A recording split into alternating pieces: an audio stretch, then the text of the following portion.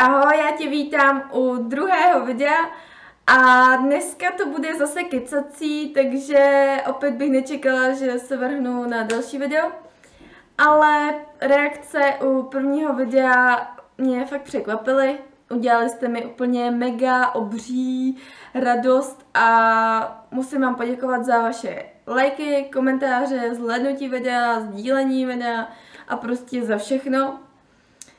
Hrozně mě to motivovalo k tomu, abych natočila další díl, uh, takhle jako povídání, abych vám jako něco sdělila, aby to nebylo zase psaný v článkách. A hrozně mě to nakoplo k tomu, abych natočila video o záchvatovitém přijídání. Protože jak asi víte, tak já sama jsem si tímhle prošla. Trvalo to zhruba takových dva a půl roku. Hm.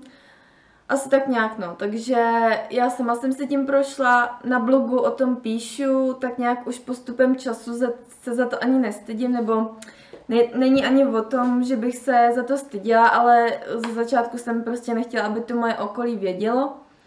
Ale postupem času, jak jsem vlastně měla blog, tak uh, jsem psala první články o přejídání a zaujalo mě, kolik holek se mi ozvalo, kolik vlastně uh, slečen mi uh, napsalo, že, že jsem jim článkem hrozně pomohla, že jsem jim dodala nějakou sílu s tím bojovat a hlavně s tím motivoval vlastně to, že já sama jsem se z toho dostala. Takže mě napadlo natočit tohle video, abych vlastně dodala zase holkám motivaci, nebo i klukům teoreticky, dodala nějakou motivaci, uh, sílu s tím bojovat a nějak jako inspirovat lidi, jak se toho zbavit a jak se z toho začarovaného kruhu dostat. Já sama vím, že když jsem se z toho tenkrát dostávala, je to zhruba rok, tak uh, jsem hledala různé články, různé videa uh, od lidí, kteří se z toho dostali nebo kteří mají typy, jak se z toho dostat a vůbec nic jsem nenašla. Nenašla jsem žádnou inspiraci nebo žádný prostě typy od lidí. A hrozně jako jsem z toho byla zklamaná, že vlastně všude se mluví o bulimii, o anorexii a to záchvatovitý přejídání se jako až tak jako neřeší, protože jako to asi není až tak vážný, teda podle mě je to hodně vážný a je to hodně častý, takže myslím, že by se o tom mělo mluvit trošku víc. A právě proto teda točím tohle video a teď vám dám trošku tipy, jak se to zbavit. Vezmu si tady svůj telefon, protože jsem si tam napsala přes týden, když jsem chodila do práce a jezdila jsem různě MHDčkem a měla jsem čas trošku přemýšlet, tak jsem si napsala takový body, které si myslím, že jsou hodně důležitý a nechtěla jsem ani na jeden zapomenout. Takže z důvodu toho tady budu číst jako z mobilu poznámky, ale nechci se pak při stříhání tohohle videa jako naštvávat, nechci být naštvaná z toho, že jsem něco zapomněla. Že první, tady mám bod začít jí zdravě. Tohle mě nejvíc pomohlo. Protože když jsem jedla cokoliv, jedla jsem sladký, jedla jsem pečivo, jedla jsem prostě tučný jídla, jedla jsem mekáč, jedla jsem KFCčko, prostě cokoliv, tak každý tohle nezdravé jídlo spouštilo přejídání u mě. Teda u mě osobně, jo, nevím, jak to máte vy, ale u mě osobně tyhle jídla prostě spouštily přejídání. Já jsem prostě si nemohla dát um, třeba kopeček zmrzliny, protože já jsem v zápětí mohla sníst půlku ledničky, eh, půlku spíže, půlku prostě čehokoliv. A to bylo uh, z důvodu toho, že vlastně já jsem si řekla, jo, už jsi dala to nezdravé jídlo, tak teď už je to jedno a začneš od zítra. A vlastně takhle se u mě střídaly období toho, že vlastně jsem jedla, co jsem chtěla, přejídala jsem se, extrémně jsem se přejídala, a říkala jsem si, Péťo, od zítra začneš, nebo začneš od pondělí a začneš jako makat, začneš cvičit, začneš jíst zdravě, nebo nezdravě, začneš držet prostě dietu a nebudeš jíst žádný sacharidy a nebudeš jíst sladkosti. A u mě se vlastně střídaly ty období toho, že já jsem střídala úplně přísné diety, kdy jsem jedla třeba dvě jídla za den a bylo to prostě třeba zelenina s kuřecím masem, a prostě dru, uh, uh, potom třeba kočeři to samý, nebo jsem úplně vynechávala ovoce, přílohy jsem vynechávala. a do toho jsem hrozně cvičila. Takže já jsem třeba prostě snědla, dejme tomu, tisíc kalorií za den a k tomu jsem třeba, já nevím, dvě hodiny, tři hodiny cvičila denně. Jo. Takže já jsem byla tímhle posedlá, že já jsem vlastně střídala to, že jsem si říkala, prostě jsi tlustá, jako furt se přežíráš, tak ty prostě teď budeš makat, jako nasadila jsem si úplně mega přísný režim, že to prostě nešlo vydržet. Že jsem byla unavená, že jsem byla nepříjemná, že jsem úplně byla malátná, kolikrát jsem i omdlela. A do toho jsem teda hrozně cvičila. Uh, hlídala se teda ty kalorie, a pak v zápětí samozřejmě, jelikož to nešlo vydržet, tak uh, jsem se přejedla, stačilo vlastně, aby mamka koupila domů nějaký nezdravý jídla, já jsem to prostě nevydržela. Chodila jsem kolem toho třeba prostě, já nevím, den, maximálně den a už jsem to prostě snědla a tím vlastně se spustil ten můj záchvat přijídání. Takže takhle se to vlastně u mě opakovalo, že já jsem si prostě řekla, začneš od pondělí, začneš, uh, já nevím, od nového měsíce zase makat, ale prostě vydržela jsem to pár dní a prostě bylo to tak přísný, že se to nedalo vydržet. Takže tohle určitě ne. Určitě doporučuji začít tak, že vy vlastně to jídlo budete brát jako lék. Vy nesmíte, když se léčíte z nějakých poruch příjmu potravy, vy nesmíte zároveň chtít zhubnout, nebo zároveň prostě chtít jako nějak jako prostě vypadat, nebo já nevím, jak by to řekla, prostě nesmíte v tu chvíli řešit váhu a nesmíte chtít zhubnout. Já vím, že je to hrozně těžký. Já vím, že je úplně těžký se jako od toho těla jako odprostit a začít řešit tu duši a to vaše zdraví, ale prostě jinak to nejde. Jelikož vy, když uh, se chcete dostat z toho přejídání a začnete řešit ještě to, že chcete zhubnout a zároveň se dostat právě z toho, z toho, té poruchy přímo potravy, tak vy vlastně nasadíte přísnou dietu, což je úplná kravina, jelikož to prostě vede k dalšímu přejídání. A vy vlastně musíte nasadit uh, režim, který bude trvale udržitelný a budete jíst pravidelně, budete jíst dostatek budete prostě jíst uh, to, co vám chutná. Budete jíst ale zároveň zdravě. A do toho budete sportovat.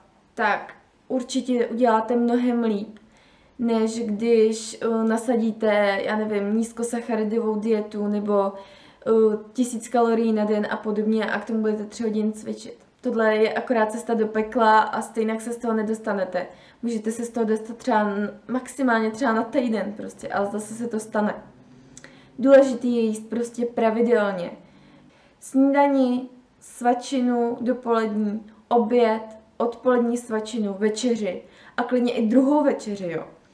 Stejnak, když jste se doteď přijídali a nasadíte nějaký zdravý prostě jídelníček, kde budete mít vyváže, vyvážený mm, makra, prostě budete jíst jak bílkoviny, tak i sacharidy, těch se fakt nebojte tak i tuky v nějaký zdravý podobě, tak určitě nepřiberete. Jo? Prostě váhu, jak už jsem říkala v minulém videu, váhu hoďte z okna a zaměřte se na to, že se chcete vyléčit a že se chcete zbavit toho problému s přijídáním. Potom tady mám druhý bod a to je sport. Sport a zároveň k tomu asi dám to, že člověk by měl být furt zaměstnaný a furt něco dělat. Já totiž uh, jsem se občas přijdala i z nudy. Přijdala jsem se třeba, že jsem jako neměla co dělat doma, tak jako jsem si něco dala, teď jako hmm, tak co já budu dělat, no, tak asi si dám ještě něco dobrýho. A takhle jsem jako loudila po tom bytě, no. A vždycky jsem jako něco ulovila a skončilo to samozřejmě přejdem. Takže určitě, když cítíte, že jako prostě teď se jako máte chuť prostě přejíst, že to na vás jde, ten jako ta chuť na něco sladkého, nebo jako chcete zajíst nudu, nebo nějaký smutek, prostě běžte třeba, já nevím, zaběhat se. Nebo ono to je hrozně těžké tohle překonat, ale jakmile to zvládnete jednou, už to pro vás, už to je prostě krok dál v tom, že vy vždycky budete mít uh, nějakou činnost, kterou to přijedení prostě zazdíte a kterou to přijedení prostě jakoby nahradíte. Takže vy, když třeba ucítíte, že fakt to přejde jde na vás, že prostě třeba, já nevím, že mamka přinesla z nákupu úplně mega sladkostí a vy to prostě nevydržíte, určitě bych šla třeba prostě si zacvičit. Nebo na procházku se psem, nebo prostě do lesa se jít projít, nebo s kamarádkama ven. A rozhodně bych určitě nečekala doma, než prostě přijde ten záchvat přejden. Tohle je fakt hrozně důležitý a u mě ten sport hrál asi tu největší roli. Protože když jsem třeba uh, ze začátku zač- začínala běhat, tak já jsem prostě neuběhla skoro ani dva metry, aniž bych prostě nelapala po dechu, nepíchala mě v boku a prostě neumírala bych jako. Tak mě hrozně pomohlo to, že vlastně já jsem třeba, uh, já nevím, běhala půl hodiny a byla jsem tak vyřízená prostě, tak hotová z toho běhu, že mě pak bylo líto to zazdít tím přejedením, abych vlastně jakoby ten běh celý zazdila, celý vlastně jakoby já nevím, pořbila tím. A to mi hrozně pomáhlo. Zároveň jsem ze sebe dostala všechen stres, všechen smutek, který mě vlastně hnal i k tomu přejídání. A ten sport je celkově fakt super na to. Na, na, prostě určitě bych doporučila ten zdravý jídelníček v kombinaci se sportem. To je fakt ten největší lék na tohle a ty ostatní body, to už jsou prostě takový ty doplňky toho, který vás tahají víc a víc tohohle problému. Takže tak, jdeme dál. A vždycky si myslím, že něco dopovím, ale nedopovím, takže třeba se k tomu ještě vrátím. Takže určitě je to o trpělivosti. Jestli si myslíte, že já jsem to měla tak, že jako jsem si řekla, tak od zítra se nepřejíš a už jsem se nikdy nepřejedla, tak to opravdu tak není je to vlastně o tom, že jsem dělala malý krůčky. Třeba jsem, já jsem si teda osobně řekla, že začínám od teď. Já jsem předtím dva roky si říkala, že začnu od zítra a nikdy jsem nezačala. Takže jsem si prostě musela říct, že začnu od teď. To mě vlastně hodně pomohlo v tom, no, když jsem si řekla, že začnu od teď, jelikož vím, že kdybych začala od druhého dne, nebo řekla jsi, že začnu od druhého dne, tak bych stejně nezačala, stejně jako tomu bylo vždycky předtím. Takže já jsem začala od teď, bylo nějak prostě, tuším, že pak následovala večeře a tu už jsem si vlastně dala nějakou zdravou a byla jsem hrozně motivovaná a hrozně jako plná té síly s tím bojovat a že to konečně porazím, že se to konečně zbavím. A to mě hrozně jako hrozně mi to popohánilo v tom, abych fakt jako si to zdravé jídlo uvařila, připravila a šla si zacvičit. No a abych se dostala k tomu, jak jsem vlastně uh, jako začala, nebo jak dlouho jsem vydržela, tak vydržela jsem třeba po první tři dny, pak jsem se přejedla. A potom jsem vydržela třeba pět dní a pak jsem se zase přejedla. A v tomhle mi hrozně pomáhalo to, že jsem si zapisovala to, co jsem vlastně jedla, a zapisovala jsem si i to, kdy jsem se přejedla a jaký z toho mám jako pocit, co si o tom myslím a jak to příště jako napravím, co udělám pro to, abych už se nepřejedla. A tohle mi hrozně pomohlo v tom, že když jsem si to zapsala, tak jsem se jako z toho mohla i ponaučit, protože jsem si vlastně vypsala ty své pocity, co si o tom myslím, jaký na to mám názor a jak si myslím, že to můžu příště předejít. A to mi vlastně hrozně pomáhalo. Určitě to nebylo tak, že bych, bych si řekla, že od teď začínám a už bych se v životě nepřejedla. Fakt to jako, takhle to nefunguje. Člověk má právě uh, hrozný problém s tím, aby si udržel tu trpělivost, aby měl furt tu sílu s tím bojovat a to je fakt hrozně těžký a kdo to překoná třeba ty první tři měsíce, tak prostě má u mě fakt jako potlesk, protože je to fakt mega těžký. No a abych se dostala zase zpátky k tomu, o čem chci mluvit, takže určitě je to o tom dělat malý pokroky. Je to o tom, že vlastně třeba nejdřív se nepřijďte tři dny, potom se nepřijďte týden, potom se nepřijďte deset dní a potom se nakonec nepřijďte měsíc a to už je taková ta jako tyjo, nepředla jsem se měsíc, tak to už je taková fakt jako odměna za to, že jíte zdravě, za to, že se hejbete a fakt jako vím, že pro lidi, kteří těma trpí, tak měsíc bez přejedení, to je fakt jako lepší než Vánoce, jo, to je prostě něco, co z čeho jste úplně šťastný, pyšný na sebe a já si pamatuju na ten jako můj první měsíc.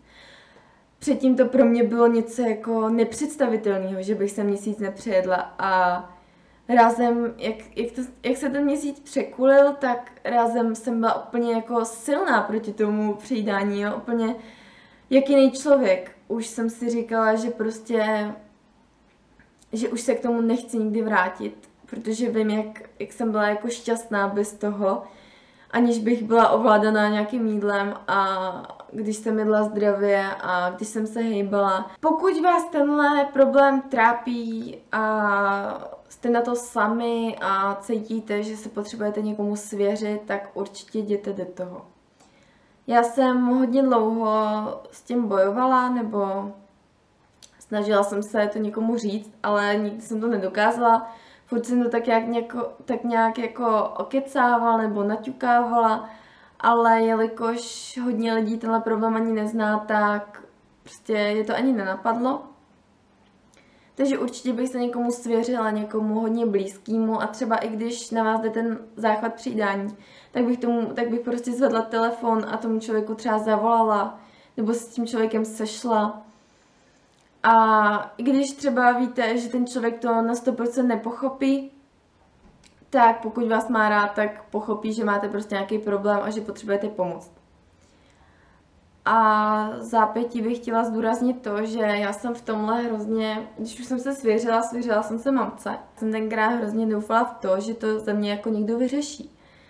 Že jako někdo mě toho hrozně pomůže se toho zbavit a někdo prostě to takhle vezme a takhle to zahodí a já už budu jako zdravá a už se nikdy nepřejem a tak ale je to fakt jenom o vás a až teď vím, že takhle už jsem mohla být prostě šťastná a plná síly a být zdravá, vyléčená z toho už dávno a potřebovala jsem jenom zapojit trošku hlavu a fakt hodně chtít a být trpělivá.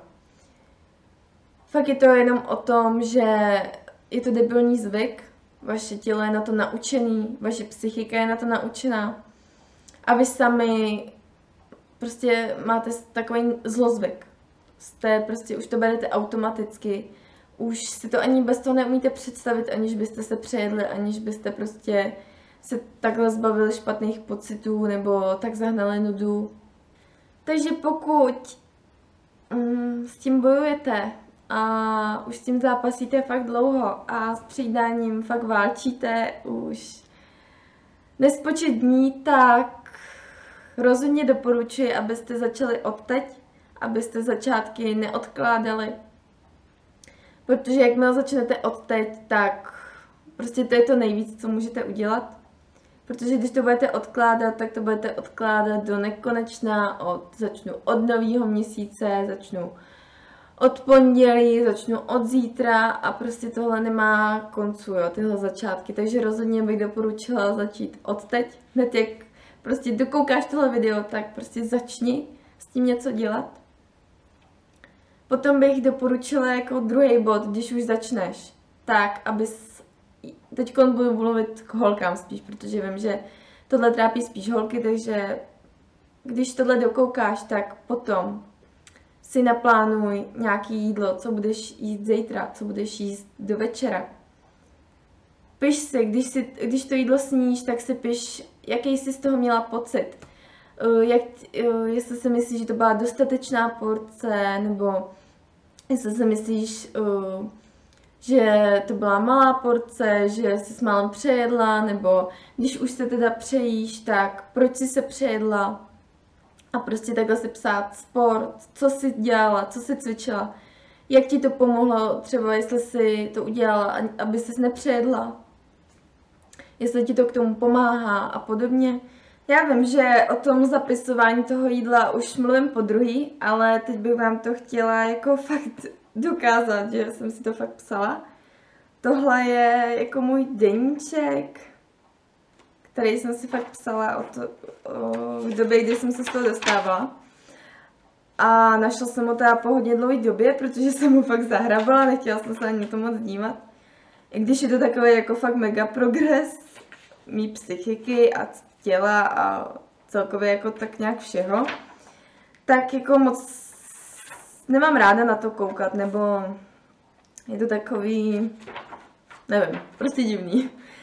Takže tady máte prostě důkaz, že takhle jsem si dělala tabulky různě, jo. Prostě psala jsem si. Ne, tak to nebude rok, protože 13. den, tady mám 9.9., takže to bude za chvíli, no, rok. No, už se to blíží, bo mý výročí. Takže určitě bych uh, tohle dělala, fakt. Tady vidíte, že to fakt pomáhá. A mě osobně to fakt moc dalo, když jsem si to takhle zapisovala. Jako třetí bod bych určitě dala to, že budeš jíst zdravě. Pokud víš, že tě třeba, že spouštět přejdání u tebe pečivo, tak ho prostě vyřať. Jasně, eh, na nějaký čas to bude těžký, ale jakmile ho nebudeš kupovat ani domů, tak ti to prostě nebude lákat. Eh, nebudeš muset tolik odolávat, nebudeš muset kolem toho chodit a stejně jak nakonec bys to snědla, takže určitě do domu nekupuj. Třeba u mě to bylo ovoce, já jsem nemohla jíst vůbec ze začátku ovoce, Nemusel, nemohla jsem kupovat zásoby ovoce domů, protože jsem věděla, že to skončí špatně. Takže určitě spravidelně domů nekupuj zásoby jídla nezdravýho nebo spouštětě přejídání. A určitě občas, občas se musíš dopřát, i když budeš jíst zdravě, tak občas se musíš něco dát. Musíš si to naplánovat. A třeba jsem to dělala tak, že jsem jednou třeba za týden si prostě sedla k televizi a řekla si, a co si teď dám. A vždycky jsem si naplánovala takovou věc, že jsem se na to připravovala hrozně dlouho, abych prostě na 100% věděla, že teď si to prostě budu dát, do, eh, prostě vzít z té ledničky, třeba, nebo z mražáku, pro, protože pro mě to byla vždycky zmrzlina. No, takže když jsem si ji vzala z toho mražáku, tak jsem si musela být na 100% jistá, že se nepřejím. Musela jsem vidět, že když ji dojím, takže budu třeba běhat, nebo půjdu se psem, nebo se budu projít, nebo já nevím, nalakuju si nechty, nebo prostě budu něco dělat. Aby mě to vlastně nalákalo k tomu, abych se jako přejedla zase, musíte si to nastavit tak, aby to bylo pro vás trvale udržitelný, abyste se netrápili hlady, zbytečně se prostě netýrali různýma dietama, to je úplný nesmysl. Musíte to jídlo brát jako lék, musíte ten sport brát jako lék a musíte to prostě začít brát jakoby vážně a prostě brát to, jak když vám doktor dá třeba antibiotika, tak stejně tak musíte brát to jídlo a ten sport. Uh, nemůžete zároveň tohle řešit a zároveň třeba chtít zupnout. Samozřejmě zdravý životní styl uh, vám dá lepší postavu, ale nemůže to být ten krok nebo ta motivace vaše. Motivace musí být to, chci se zbavit přejídání. A určitě bych teda jako poslední zmínila to, že musíte být hodně trpěliví, že to nebude snadný, jako ani já jsem to neměla snadný, bylo to fakt mega těžký, přiznávám, jako a nechci říkat, že to bylo snadný, když to nebylo snadný, ale vím, že to zvládneš, jako vím, vím, hele, já vím, že to zvládneš. A doufám, že tohle video ti dalo sílu, doufám, že jsem ti dala trošku motivace. Doufám, že někomu tohle video pomůže a doufám holky nebo i kluci, že na tom zamakáte, až vypnete tohle video. Takže doufám, že se vám video líbilo. Za chvíli už fakt bude tma, už je skoro 9. A snad se uvidíme ještě v nějakém dalším videu. Pokud ano, tak to určitě bude zase o přejídání a tentokrát s mým příběhem. Takže ahoj, mějte se hezky a já vám přeju hezkou neděli. Ciao.